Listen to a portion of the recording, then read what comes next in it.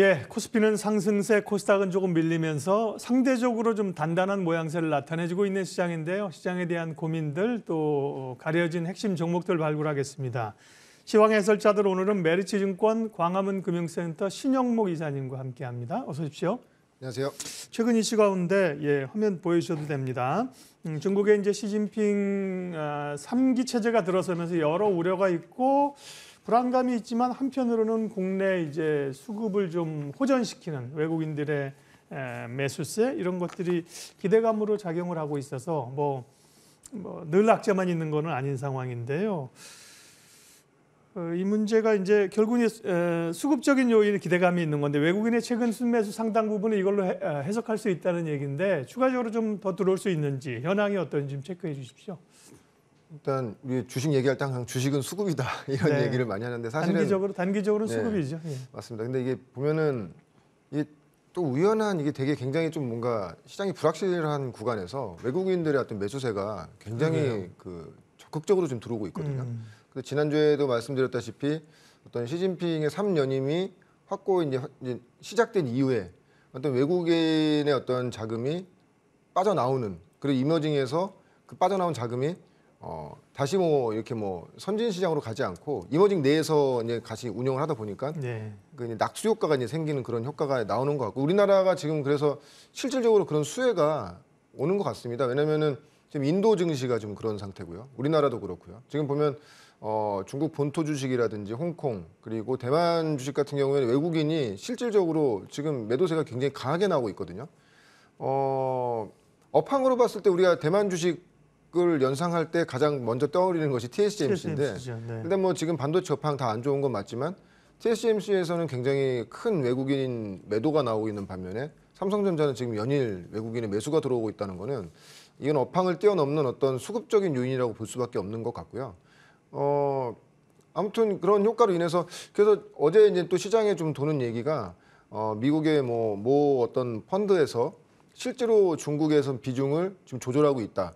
그 글로벌리하게 한 20위권 정도 되는 그 큰 펀드인데 네. 이제 그런 펀드에서조차도 비중 조절이 시작됐다. 근데 이제 어, 중국에서 주, 줄인 만큼을 다시 이제 본국으로 이제는 뭐이 본국으로 다시 이제는 그 돈을 자금을 빼는 게 아니라 이머징의 어떤 그런 비중은 그대로 유지한다는 것은 그 외의 나라들로 투자가 된다는 것이고요. 근데 어, 이게 또 상징적인 것이 2주 전부터 이런 흐름이 있었다고 얘기하는데 그렇게 되면 이런 그 좀 큰 굵직한 펀드에서 그런 비중 조절이 있다고 하면은 그 외의 펀드들도 그런 식의 어떤 조정이 있을 수밖에 없다. 그렇게 된다고 하면은 음. 때마침 우리나라도 보면은 삼성전자 굉장히 조정 많이 받았고요. 물론 지금 뭐 3분기 실적 안 좋았고 4분기 안 좋고 내년까지 지금 다 안 좋은 거 다다 인정하고 있는 상황 상황 네. 상황에서 환율도 지금 많이 올라 있는 상황에서 음. 굉장히 어 좀 어떻게 보면은 좀 편하게 좀 큰 리스크 없이 살 만한 그런 주식이 삼성전자였던 거죠 결론적으로는요. 그래서 그런 외국인들의 수급이 들어오는 것 같고요. 또 이제 한편으로는 어 시가총액 상위 종목이 냐 아무래도 그런 큰 자금들이 움직이게 되면은 시총 상위 종목들 위주로 그래서 지난주에도 이제 나와서 이제 화면 보여주셨지만 어 시가총액 코스피 코스닥 시가총액 그냥 상위 종목들을 위주로 해서 외국인의 매수세가 지금 많이 들어오고 있는 상태고요. 그래서 어 우리가 이제 코스피의 시가총액 상위 종목 하면 뭐 삼성전자, 하이닉스, 뭐 LG 에너지솔루션 등 뭐 삼성 SDI도 최근에 많이 올라왔고 어 일단 그런 종류의 종목들로 지금 외국인들이 매수세가 가담되다 보니까 기간도 따라갈 수밖에 없고 왜냐면 이제 BM BM 그러니까 벤치마크를 추종하는 자금들도 그 시장의 어떤 그 성- 평균적인 상승률을 맞추기 위해서는 대형주를 무조건 편입해야 되는 그러니까 시장이 안 좋을 때는 대형주 가지고 이 어떤 수익률 방어가 안 되기 때문에 중소형주를 가지고 어떤 그 어떤 그이 실적을 좀 마사 이 어떤 이런 수익률을 좀더 네, 퍼포먼스를 낸다고 맞춰야 하면은. 음. 이 대형 장세에서는 그냥 중소형주를 볼 게 없죠. 그냥 그렇죠. 예, 콩이 100바퀴 도는 것보다 호박이 한 번 구르는 게 훨씬 네. 좋기 때문에 대형주로 그냥 큰 자금들이 더 들어가다 보니까 이러한 추세가 왜냐하면 대형주가 움직이는 장이기 때문에 단기적인 추세는 아닐 거라고 보고 있고 어떻게 보면은 우리나라 입장 우리나라 어떤 주식 투자하시는 분들 입장에서는 하반기가 굉장히 불확실함에도 불구하고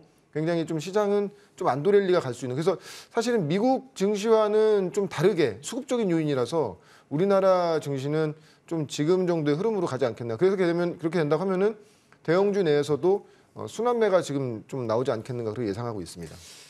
중국은 굉장히 큰 변화를 가져올 수도 있겠어요. 왜냐하면 최근 몇 년간 계속 기억했던, 기억하고 있는 게 MSCI에서 비중 조절하면서 중국 비중이 계속 늘어났거든요. 그리고 우리가 계속 상대적으로 줄 수밖에 없었잖아요. 맞습니다. 그 예. 영향을 뭐 이번 반기에는 1조다, 2조다 가져갔었는데요.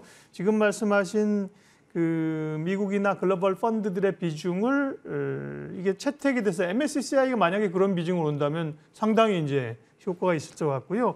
저는 이 문제를 보면서 사실 반도체나 2차 전지나 중국의 굴기, 중국이 무섭게 쫓아오고 있지 않습니까? 그걸 이제 미국이 좀 확 눌러주는 네, 소위 이제 좀 표현이 거칩니다만 밟아주는 효과가 있기 때문에 국내 업체들은 사실 어, 좋다 네, 맞습니다. 그렇게 보는데요. 그럼 이제 두 가지입니다. 외국인들이 최근에 이제 매수에 들어오는 게 말씀하신 것처럼 대형주 가운데 반도체하고 2차 전지인데요.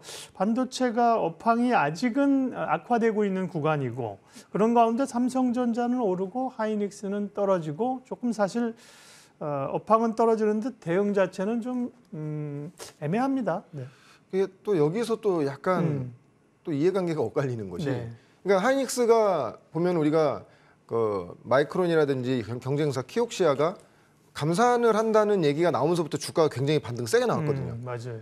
사실 그래서 지금 사실 지금 어떤 이런 추세적인 상승도 하이닉스도 누려야 되는데 근데 지난주에 이렇게 주가가 많이 빠졌던 가장 큰 이유가 어떻게 됐건 간에 삼성전자는 어 내년에 감산하지 않겠다. 원래는 사실 삼성전자도 감산을 같이 해줘야 이제 재고가 줄고 그 다음에 이제 내년 하반기부터는 반도체 업황이 돌아갈 수 있다는 기대감인데 음, 삼성전자는 내년에 반도체 투- 투자도 줄이지 않은 상태 않을 뿐더러 감산도 없다고 얘기해 버리니까 이렇게 되면 시장에서는 어, 이 치킨 게임으로 가는 것이 아니냐. 왜냐면 지금 삼성전자 지금 현금이 그냥 100조 이상 만약 현금화할 수 있는 것까지 다 계산한다고 하면 뭐 대략 200조까지도 된다고 얘기가 나오는데 사실 이렇게 이제 업황이 안 좋을 때 이 1위 업체가 치킨 게임과 같은 비슷한 느낌으로 이렇게 업황을 이끌어 간다고 하면은 2, 3, 4위 업체는 큰, 좀 약간 굉장히 힘들어질 수밖에 없겠죠. 그러다 보니까 사실 이게 또 롱숏이 걸린다고 말씀드리죠. 삼성전자를 많이 사고 하이닉스를 공매도로 이제는 어떻게 됐건 간에 지금 어, 실적은 안 좋고 업황 자체가 불투명한 건 맞기 때문에 그러다 보니까 좀 더 이 어떻게 보면 시가총액 상위 종목 내에서도 이런 롱숏 페어에 대한 어떤 이런 현상이 생기다 보니까 삼성전자와 2차 전지에 좀 더 시장에 수급이 몰리는 그런 흐름이 될 것 같고요. 하이닉스는 사실은 좀 이런 어떤 감산이라든지 이런 거에 대한 우려감이 어떻게 됐건 하이닉스는 뭐 메모리 반도체가 업황이 돌아야 되는데 어, 그렇다고 해서 지금 막 체력이 아주 막 체력이 아주 좋은 상태는 아니기 때문에 내년 걱정을 해야 되기 때문에요. 그렇게 된다고 하면은 어, 하이닉스는 당분간 주가는 좀 눌려 있을 수밖에 없는 그런 현상이 나오지 않겠는가 좀 이렇게 예상을 합니다. 네. 그러니까 외국인 수급은 이제 반도체 2차 전지가 핵심인데요. 반도체는 아직도 겨울로 가고 있어서 바닥을 형성할 수는 있겠으나 2차 전지는 사실은 많이 오른 건 있지만 성장이 지금 희, 희소한 가운데 오르고 있는 섹터이기 때문에요. 2차 전지가 시장에서 더 부각을 받고 있지 않나 싶습니다. 네. 그럼 오늘 이제 hidden value 종목, 관심 종목 말씀해 주세요. 오늘은 포스코 홀딩스입니다. 포스코 홀딩스. 네. 네. 그러니까 포스코 홀딩스 같은 경우에는 다들 아시겠지만 이 업- 최근에 아마 보고서 이렇게 보신 분들도 아시겠지만 포스코 홀딩스의 실적은 포스코의 실적과 똑같이 연동이 됩니다. 네. 철강 산업에 연동이 되고 왜냐하면 전체 영업이익의 86% 정도가 포스, 이 철강에서 나오는 거기 때문에 그렇지만 우리가 지금 포스코 홀딩스를 좀 우리가 유심히 봐야 되는 가장 큰 이유는 포스코 홀딩스 자체가 본연의 사업으로 자회사를 갖고 있는 본연의 사업으로 지금 2차 전지를 어, 원료 채취부터 어, 양극재, 음극재 생산까지 지금 수직 계열화를 지금 어, 박차를 가하고 있는 상태고요. 그렇게 된다고 하면 향후에 포스코 홀딩스의 어떤 어떤 이 포스코 철강에 대한 지분 가치를 제외하고 네. 일단 친환경 부분에 대한 어떤 성장성이 기존의 본업보다도 훨씬 좋아질 수 있는 그런 것을 좀 중점적으로 보셔야 될 것 같다고 생각을 하고요. 기존에 이제 지주사를 바꾸면서 아니 포스코가 포스코 홀딩스로 이제 소위 이제 얼굴만 바꾼 거 아니야? 이런 사실 생각들이 있거든요. 맞습니다. 예, 근데 예. 이제 지주사로 바꾼 본연의 가치들이 드러날 수 있는 가능성들이 좀 보이고 있다 이거거든요. 가능성뿐만이 아니라 실질적으로 지금 되고 있습니다. 왜냐하면 이제 아무래도 이제 포스코 홀딩스에 대해서 네. 이게 시장에서 이렇게 소개가 많지 않다 보니까 네. 그냥 포스코 홀딩스 이거로 그냥 포스코라고 보, 고 네. 계시는데 방금 표 보시면 아시겠지만 음. 일단 철강 부분이 전체 매- 현재입니다. 현재 기준으로 철강 부분이 어, 전체 부분에서 뭐 거의 뭐 한 86% 정도를 차지하고 있고요. 네. 지금 그 앞- 밑에 보시면 30년까지 어, 친환경 인프라라든지 이제 여기 이제 수소라든지 LNG까지 이런 여러 가지 이제 인프라가 섞인 곳이고요. 그리고 친환경 미래 소재 부분이 이제 2차 전지 부분에 대한 어떤 매출입니다. 근데 이제 단순히 단순히 이거를 우린 앞으로 이렇게 할 거야라고 이렇게 어, 표명한 것뿐만이 아니라 다음 표를 보시면 아시겠지만 실질적으로 그렇게 움직이고 있습니다. 보시면 아시겠지만은 어, 포스코 그룹 2차 전지 사업계인데요. 이, 이거는 이제 포스코 부분 떼고 왜냐하면 자회사가 워낙 많다 보니까 지금 보시면 아시겠지만 자회사 밑에 이제 초록색으로 보시면 아시겠지만 포스코 아르헨티나라든지 어, 그 외에 이제 자회사를 통해서 리튬을 이제 광산에서 리튬을 채취하고요. 그것을 리티, 니켈로 제련하고요.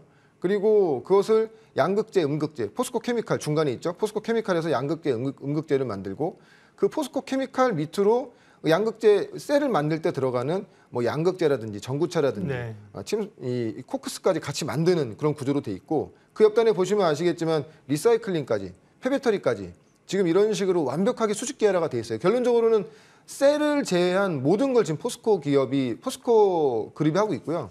이것이 지금 어, 보시면 아시겠지만 포스코 홀딩스가 이제 자체적으로 하는 것입니다. 그래서 우리가 이제 너무 이제 이 표를 보시면 복잡하게 생각하실 필요 없습니다. 네. 지금 가장 우리가 그냥 비교할 수 있는 가장 좋은 그룹으로 에코프로와 에코프로 BM을 생각하시면 돼요. 그렇죠. 에코프로 BM 아시겠지만 양극재 지금 다 하고 있고요.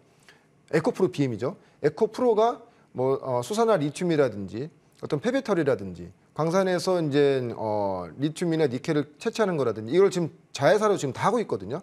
그러면서 최근에 올해 주가 보면은 에코프로 BM보다 에코프로가 되게, 되게 좋았죠. 왜냐면은 본연의 에코프로 BM의 지분 가치를 다 떼놓고 친환경 부분, 2차 전지 어떤 확장성을 봤을 때 네. 에코프로의 어떤 본 사업도 굉장히 좋다는 의미였거든요. 또 리튬이나 소재가 부각되면서 이제 오른 측면이 또 있죠. 맞습니다. 예. 포스코 홀딩스 역시도 그렇게 지금 수직 계열을 이미 하고 어, 수직 계열을 이미 사- 시켜놓은 상태고요. 어, 지금 뭐 시가총액 한 20조. 이게 포스코 홀딩스를 또 우리가 좀, 좀 계속 잘 봐야 되는 것이 네. 시가총액 20조다 보니까 어, 시총 상위 종목입니다. 한 15위 정도, 14위 정도가 되는데 지금 연간 한 6조 정도의 물론 당연히 그 철강 이익이지만 이것이 친환경 부분에서 이익단이 올라오는 물론 시기가 좀 걸리겠죠. 2, 3년 걸리겠지만 지금 이렇게 수직 계열화 해놓은 이런 상태에서 친환경 부분에서 매출과 실적이 올라오기 시작한다고 하면은 포스코 홀딩스의 어떤 그 어, valuation은 새롭게 좀 재평가돼야 된다. 그래서 지금 보시면 아시겠지만 어, 이 주황색 부분이 포스코 홀딩스가 하는 부분이고요. 네. 이 파란색 부분이 포스코 케미칼이 하는 부분입니다. 음. 그러니까 광물 자원 채취부터 시작해서 원료를 만들고 그 중간 소재까지 만들고 최종 제품. 나중에는 결론적으로는 배터리 셀을 만드는 셀을 만드는 것 제외하고는 포스코가 모든 걸 지금 다 하고 있는 거죠. 근데 이제 이것이 포스코가 왜 강점이 있냐면 사실 아시겠지만 광산 광물 채취부터 원료를 또 정제하는 것부터 중간 소재 만드는 것까지 엄청난 그 돈이 설비 투자라든지 돈이 투자가 돼야 되는 것이거든요. 사실 이제 그런 정도까지 체력이 돼 있는 기업들이 국내에 몇 개나 있- 있을까를 생각한다고 하면은 사실 LG 그룹이 지금 그렇게 잘하고 있는 것이고요.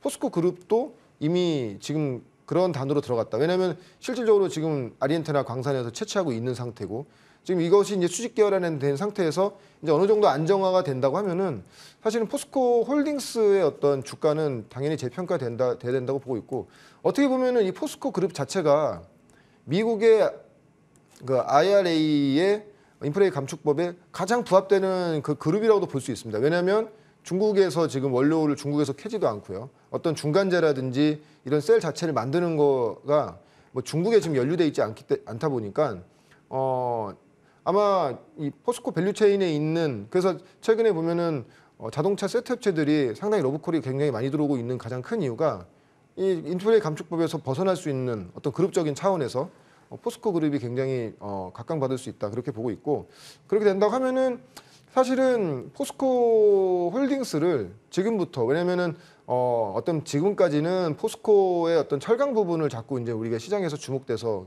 뭐 철강 업황이라든지 뭐 이런 생산량으로만 봤다고 한다면은 이제는 2차 전지 value chain에서 포스코 홀딩스가 얼만큼 준비를 잘하고 있는지. 그다음 표 보시면 아시겠지만 지금 리튬이나 니켈, 양극재, 음극재 이런 것들이 지금 어느 정도까지 지금 어, 생산이 생산 캐파를 이미 보유하고 있고 지금 뭐 증설하고 있는 상태고요.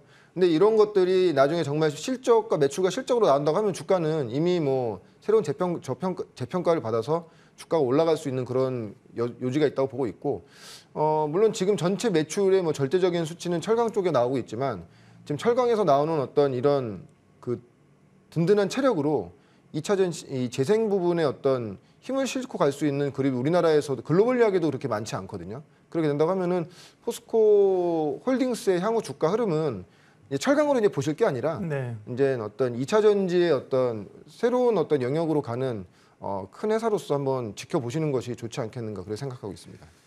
주봉으로 보면 사실은 뭐 하락에서 올라온 바가 아직 크지 않고요. 근데 일봉으로 보면 단기적으로 오른 바가 있고 시총이 22조기 때문에 좀 무거운 감도 있고요. 가격 전략 마지막으로 말씀해 주십시오. 네, 일단 시총이 무겁기 때문에 지금 보셔야 됩니다. 왜냐하면은 일단 외국인들의 어떤 수급도 들어올 수 있는 상태이기 때문에 어, 일단 1차적인 목표가는 한 30만 원 정도 보시면 좋을 것 같고요. 네. 어, 손절가는 22만 원 정도를 잡고 어, 좀 조정 시에 좀 꾸준히 모아가시면 상당히 좋을 것 같습니다. 예, 오늘 시황의 해설자들은 메리츠증권 광화문 금융센터 신영목 이사님과 함께했습니다. 결국은 뭐 어, 하늘 높까지 오르는 주식은 없지만 지금은 2차 전지 전성 시대이고요. 그 가운데 좀 가려져 있는 포스코 홀딩스를 집중 조명해 주셨습니다. 이사님 고맙습니다. 고맙습니다.